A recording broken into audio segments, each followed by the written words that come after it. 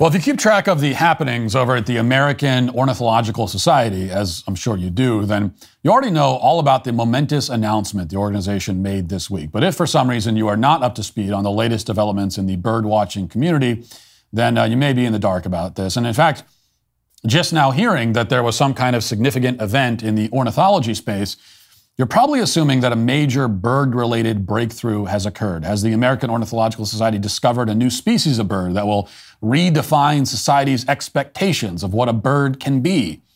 Or maybe they identified a new invasive bird that's going to destroy all the crops and bring about the end of civilization. Perhaps there's something more salacious happening in the avian world. Maybe Taylor Swift is dating a famous bird watcher. Maybe she's dating a bird. These are all logical guesses. But that is where the disappointment sets in. It turns out the big announcement uh, instead was this. After more than two years of deliberation, this bird society has decided that at long last they're going to decolonize the hobby of bird watching in all related fields. And they're going to, to do that by changing the names of a few dozen birds. As USA Today reported without the slightest hint of irony or self awareness, quote, dozens of birds to be renamed in effort to shun racism and make science more diverse. Now, after realizing how absurd that headline was, USA Today quickly changed it later in the day, and now the headline reads, quote, Dozens of birds, including ones named after white supremacists, are being renamed. The article goes on to explain that, quote, the Society plans to remove all human names from the common names for birds within its jurisdiction to create a more inclusive environment for people of diverse backgrounds interested in birdwatching and ornithology. The public process, yet to be fully defined, will include 70 to 80 birds in the US and Canada, according to the Society. The New York Times elaborated on the situation with their own article, quote, Advocates of this change believe that many English common names for birds are isolating and demeaning reminders of oppression, slavery, and genocide, according to a petition in 2020 that was addressed to the American Ornitholo- Ornithological Society. The petition was written by Bird Names for Birds, an initiative founded by two ornithologists to confront the issue of these bird names, which it describes as verbal statues. So they're going to tear down the verbal statues, just like they tore down the actual statues. And they'll make sure that no bird is named after a human, at least not any white human. And that means there will be no more McCown's longspur. That's a bird named after John P. McCown, who discovered it. But John P. John P. McCown uh, fought for the Confederacy, and he didn't want the Seminole Indians to rule Florida. So, needless to say, the name of that particular bird needs to change. The Scott's oriole also needs a new identity because it was named after Winfield Scott, who relocated Indians in the 19th century in the so called Trail of Tears. And of course, there are the, the birds named for John James Audubon, who basically created the whole field of modern ornithology. And that needs to change as well because he owned slaves. That's a big problem for the Audubon's shearwater, which is a bird that lives off the coast of the southern United States, as I'm sure you know. Now, it goes without saying, of course, that these bird names um, have caused untold trauma for bird watchers and civilians alike. It's impossible to know just how many people have collapsed in shock and suffered heart attacks after learning that, uh, you know, a species of North American sparrow was named after an obscure Civil War general, or that a certain type of crow bears the name of a guy who owned slaves 265 years ago, or whatever. But we, all, we also give less thought to the birds themselves, who uh, have for decades been saddled with these ostracizing names, and think of how difficult that must be for them. That's why the American Ornithological Society is getting rid of these genocidal names and instead using names that describe a bird's physical features. Now, granted, it's only a matter of time before that becomes a problem too. Now, I can't think of any reason why the name blackbird is racist, but I'm sure somebody will think of one. It just may take a while. Indeed, it took more than two years for these bird experts to make this decision to rename all these birds, and they still haven't renamed them, by the way. They've just confirmed that they're going to do it.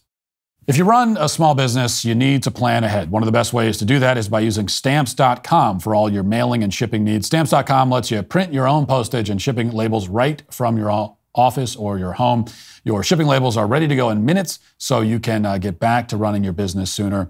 We don't waste time here at the Daily Wire. We've used stamps.com since 2017. Our office management staff love stamps.com because they don't have to spend hours at the post office. Stamps.com offers rates you can't find anywhere else, like up to 84% off USPS and UPS. Plus, they will automatically tell you your cheapest and fastest shipping options. For 25 years, stamps.com has been indispensable to over 1 million businesses.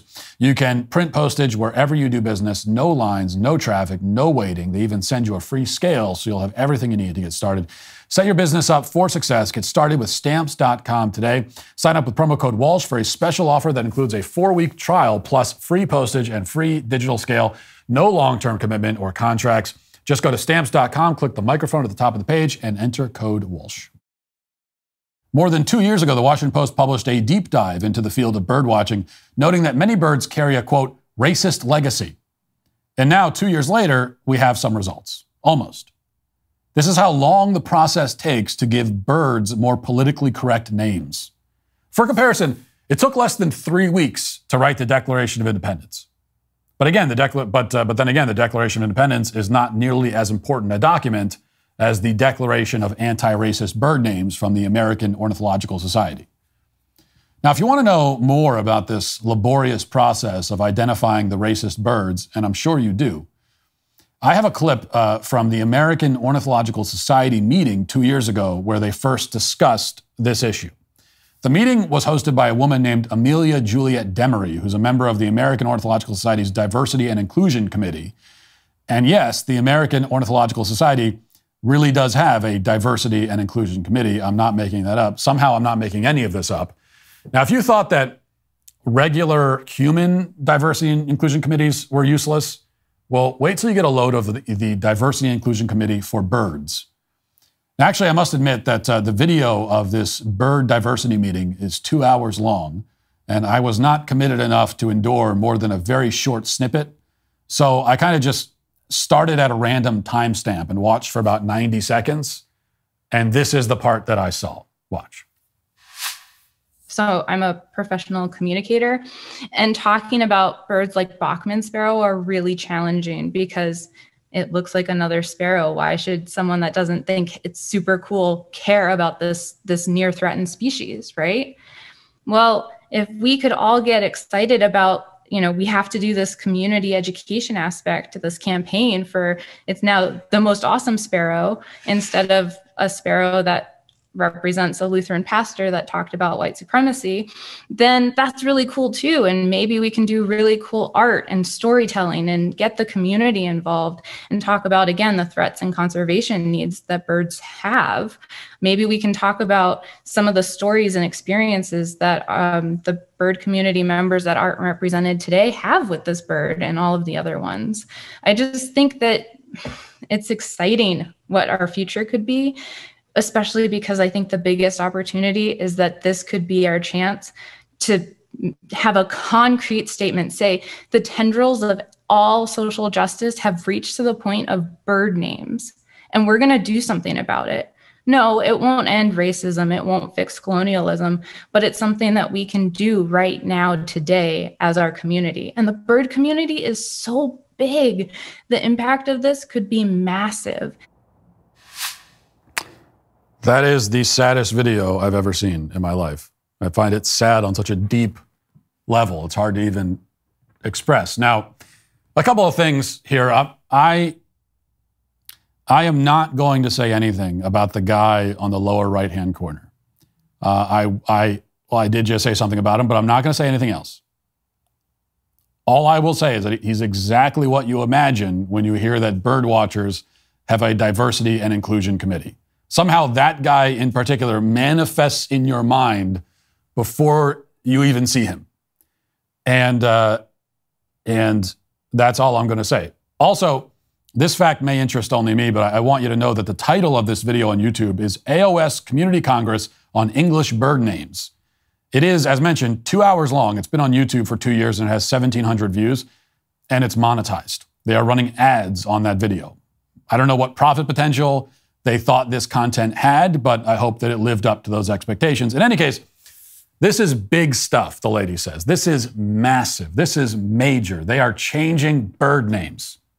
Sure, sure, she acknowledged it won't end racism, it won't fix colonialism, it won't usher in a progressive utopia on its own. It will only get us like 95% of the way there.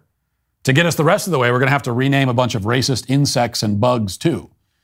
But that would require those slackers in the entomological society to get their act together finally and confront this problem. And it's about time for that.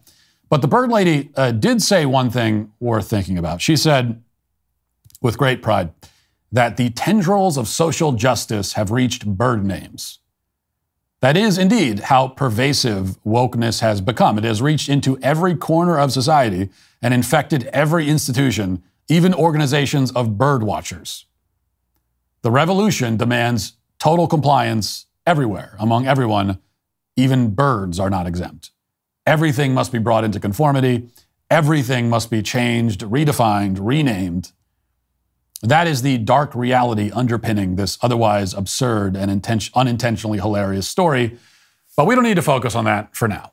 Instead, let's just point and laugh at this because sometimes that's all you can do or should do.